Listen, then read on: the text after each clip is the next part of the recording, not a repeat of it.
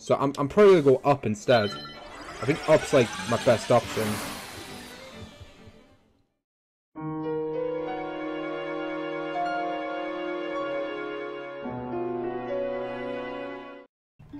I got poison.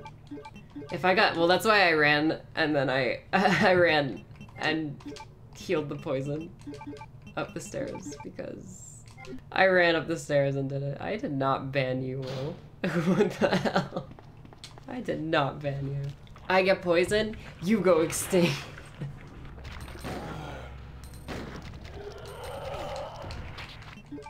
GG easy.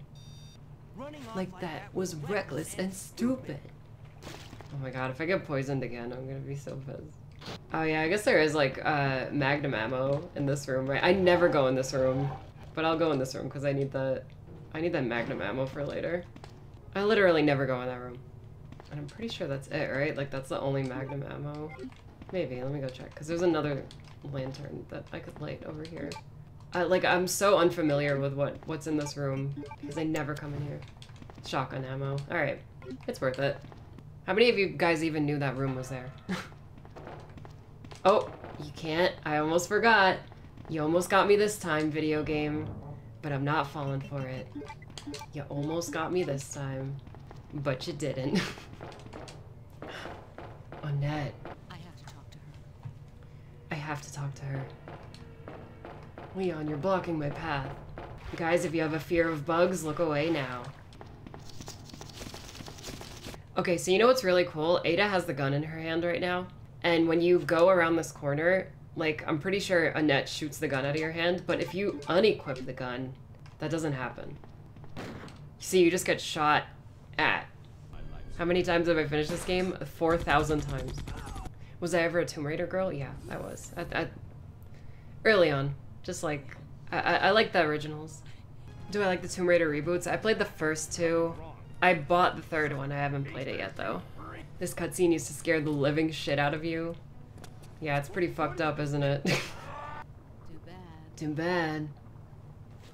And you see, like, if if you actually approach that cutscene with the gun in hand, Annette would shoot the gun out of your hand. And when Ada bitch slaps Annette off the the railing, she would pick the gun back up. It's so cool. That's a detail that I, I I learned about last year when I made the the RE298 video. Yeah, DMC5 has a similar thing where in some of the cutscenes, uh, if you walk into them, if you run into them, or if you jump into them, you will that will be reflected in the, at the very start of the cutscene, which is like, it's just mind blowing that they even thought to do that.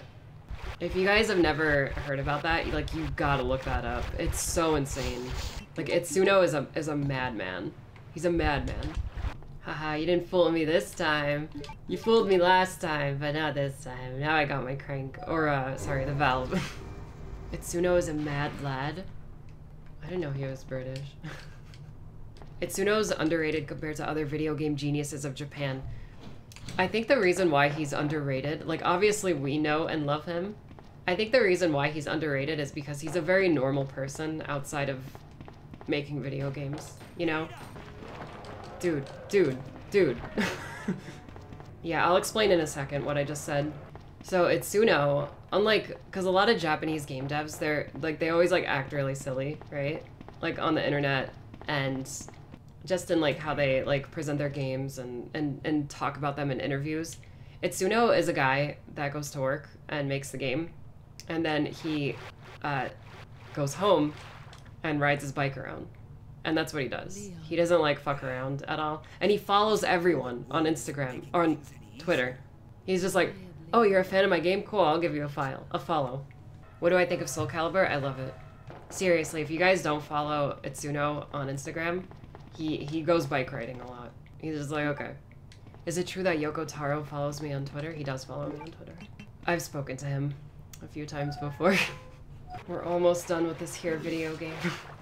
nice Min Min art, thank you. The Min Min art was done by uh, an artist named Vil Art. It was really good. Is Harley Quinn a Batman villain? Because she's kind of like an anti hero at this point.